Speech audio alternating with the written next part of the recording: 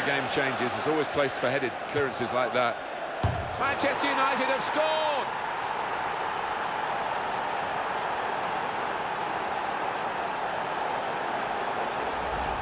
It is very well placed. It's nicked the post on the way in.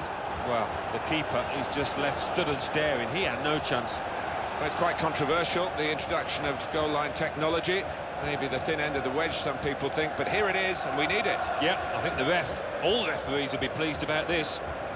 It happened so quickly, the human eye can't catch it, but this technology can. Clear goal.